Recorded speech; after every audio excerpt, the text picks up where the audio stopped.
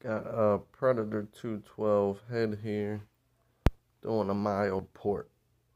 Um, you can see a little bit down in there, that edge. Trying to clean up and round off a little. Then you got, can't really see it from this view, but you got this edge right here. I rounded that off a little. And I'm going to try to do that one there. Right there. You just want to round everything off mild port. You don't want to really mess up the airflow too much. I'm trying to come in through here so I don't hit the valve seats. You do not want to hit these valve seats.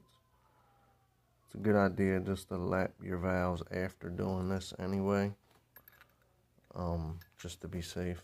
Won't hurt anything. So that's what I'm doing. Taking these little files, coming in through this way. You can use a Dremel tool and come in through the valve where the valve was if you want, but uh, you know, I just don't want to take a chance of hitting them valve seats. So this way is a little more slow, but just round off all them edges under there. Do it on both sides. I do one at a time. I'll take this intake valve out, port it, put the intake valve back in so I don't get them anything mixed up. I put the same retainer, same springs, same valve keepers, everything. So something simple, give you a little little bit more performance. This is the exhaust side.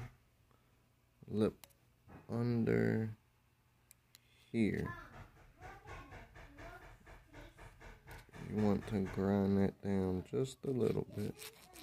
Round it off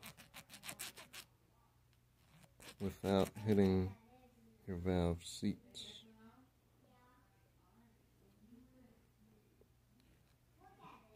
looking to get better airflow.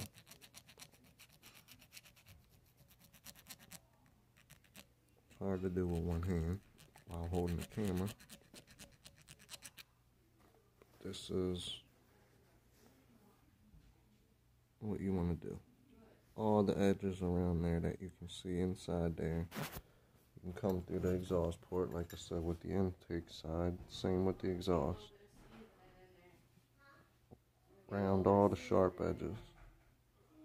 Just trying to get better airflow. You don't want to change the airflow. You just want to get better airflow. You can see everywhere that I rounded it. Don't take a whole lot. Just just want to round the sharp edges like I said. Like, comment, and subscribe. I'm trying to put out more content. Um, a lot of different stuff. I'm gonna be doing a camshaft, connecting rod, and a flywheel in a Predator 212 pretty soon.